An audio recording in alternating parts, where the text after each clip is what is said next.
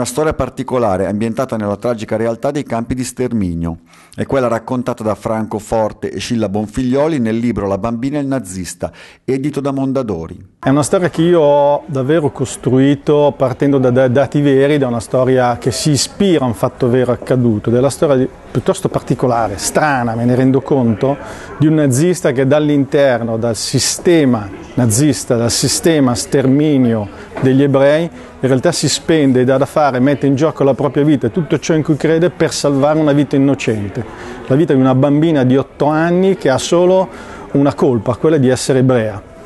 Questa storia è tremenda perché è collocata all'interno di una ricostruzione vera. Tutto quello che io e la mia coautrice Scilla Bonfiglioli eh, scriviamo è la ricostruzione di quel mondo, dei campi di sterminio, dei campi di concentramento in Polonia, due campi di concentramento soprattutto, che hanno visto dei fatti tremendi, terrificanti.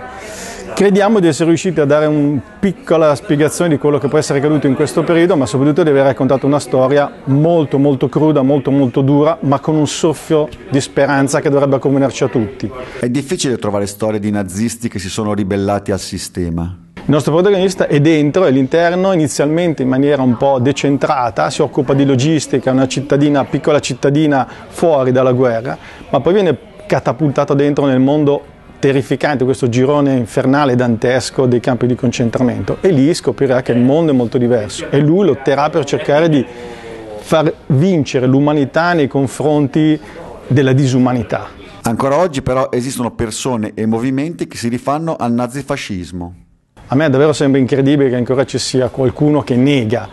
di fronte a questo negazionismo, credo che la cosa migliore sia banalmente cercare di raccontare delle storie, far capire che cosa hanno passato alcune persone in quegli ambienti, in, quelli, in quel periodo storico, in quei momenti. E questa è una storia che, ripeto, anche se con un anelito di speranza, perché cerchiamo di dare una speranza a tutti, è fatta soprattutto per non dimenticare, perché non bisognerebbe mai dimenticare queste certe cose che sono accadute.